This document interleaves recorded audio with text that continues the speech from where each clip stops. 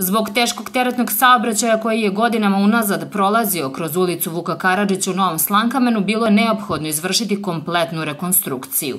Na adresu opštine Inđija stigla je peticija meštana koji žive u ovom delu sela, te lokalna samouprava izdvojila 10,2 miliona dinara za radove koji su nedavno završeni.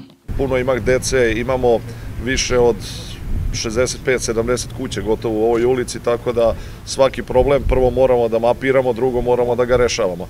Ovo je rađeno direktno iz lokalnog našeg budžeta i mislim da su svi zadovoljni ovim kako ulica izgleda. Naravno, Inđija put, javno preduzeće naše je to ispratilo od početka do kraja i e, urađena su i nova parking mesta kao što ste i pomenuli. Evo sad smo govorili da i ovaj deo koji fali još ovde može jedno desetak e, parking mesta da završimo i taj deo da spojimo sa školom. Ulica dužine oko 600 metara je proširena na 4,2 metra i ojačana dodatnim tamponom zbog velike frekvencije teretnih vozila, čime će se obezbediti dugotrajni vek saobraćajnice. Takođe, urađen je parking prostor kod osnovne škole sa 20 parking mesta i kolski prilaz je za sva domaćinstva.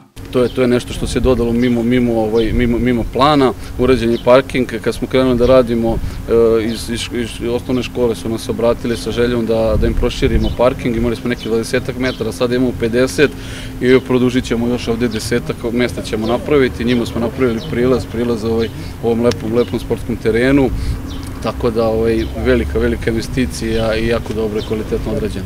Prema rečima direktora javnog preduzeća Inđija Put Marka Gašića, navedena ulica bila je jedna od najloših na teritoriji opštine Inđija, te je za ovu godinu označena kao prioritet za rekonstrukciju.